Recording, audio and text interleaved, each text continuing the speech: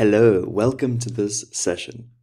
Here I'm going to be overviewing one of the most powerful tools in Salesforce, and that is the dashboard. The dashboard is a visual representation of data. It can have up to 20 charts, bar graphs, or tables that represent perhaps priority questions that you may be asking. In other words, another way to put it is that you could have 20 reports all in one place and visually represented. A dashboard is a powerful tool that helps you see the progress to goal over time and it allows you to look and compare data. And that probably is one of the most powerful uses of dashboards. Dashboards are often found on the top ribbon of the Salesforce Classic. You can also click the plus sign and search for dashboards, and that will take you right here. In this session, I'm just going to show you the ways in which dashboards work. In the next lectures, we're actually going to build some dashboards. So here are some key things that you need to take into account. There are two main pieces of information that you need to know in order to understand dashboards.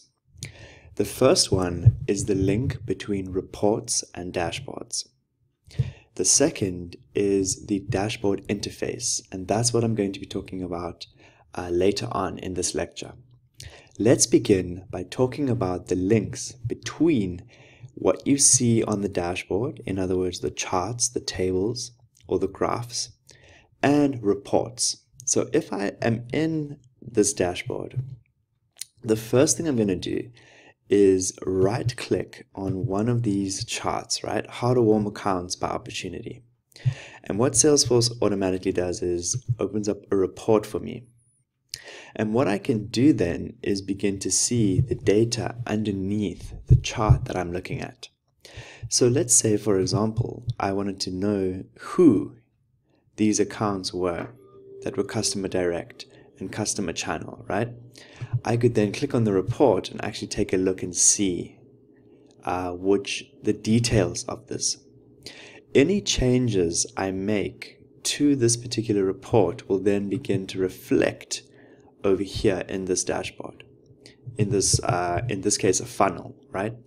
And so it's important for you to understand, and it will become clearer in the next lecture where I talk to you about how we build this dashboard, how this report will actually link back to the dashboard. So that's the first thing. The important uh, piece to understand is that dashboards are made up of reports.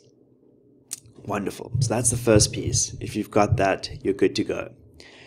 However, before you uh, start jumping into dashboards, there's a second piece that's important, and that is the dashboard interface. And that's what I'm going to be talking about right now. The first thing to know about the dashboard interface is when you look over here, you will notice that you are viewing the dashboard as a specific person, in this case, Patlaleti. You may be a manager and you want to see the data viewing as yourself, right? The second thing you'll notice is that the last time this dashboard was updated was August 10th, 2017. You'll want to make sure that you are seeing the most up-to-date information. And thirdly, you may have made some adjustments to some of your goals, or you may want to actually put some goals into this dashboard, into some of the gauges and charts. And I'm going to show you exactly how we do that. So Let's begin by editing this dashboard. So if I click edit, it will take me to the back part of this dashboard. I can immediately go over here to view and I can select, in this case there are there is no one else other than Patlaleti, but I can search for someone and based on their permissions and their roles, they will see different sets of data here. So this is where you could change the viewing data as okay? The dashboard.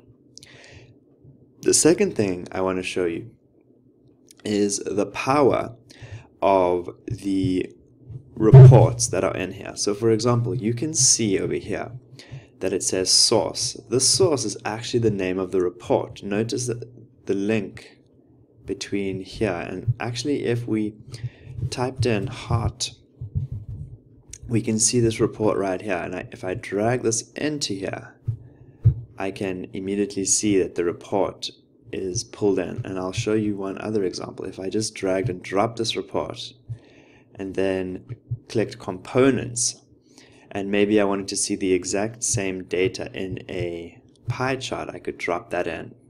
Notice that it's the exact same data, right? And if I wanted to remove it, I could click right over there. It's going to ask me, do I want to delete this? And I can say yes. Okay. So here we are at the back of the dashboard. I can change the view. I've shown you a little bit about how the reports link to the components.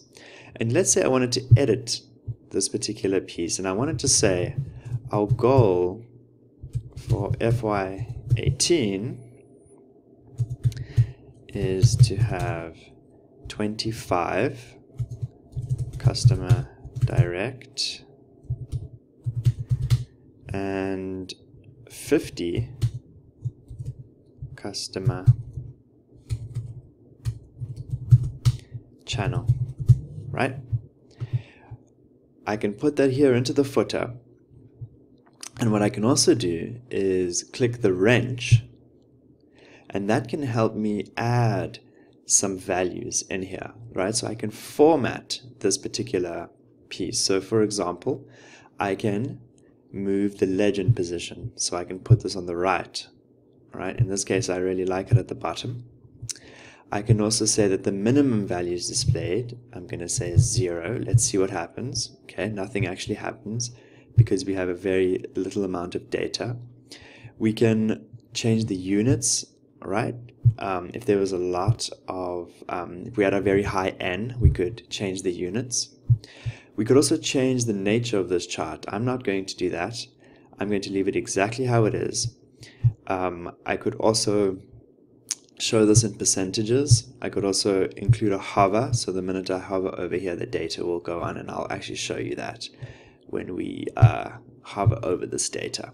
So here we go. I've shown you a little bit about how we edit this. Now I'm going to actually click Save. I'm going to click Close, Save and Close. And we're going to look at this. So notice now that we have actually a goal underneath. And this helps us look at this uh, funnel with more context. However, there's one piece that has not been done, and that is something I mentioned earlier, which is the refresh. Dashboards do not automatically refresh themselves. You actually have to refresh data. And that is a best practice. When you enter a dashboard, your first step should always be to refresh. I have not refreshed this dashboard, and that is because I wanted to demonstrate the process of looking at the reports and then looking at the dashboard interface. We now notice that this dashboard is up to date. Notice now it's changed. And because I clicked hover, I can now hover over this and it can give me both the number and the percentage.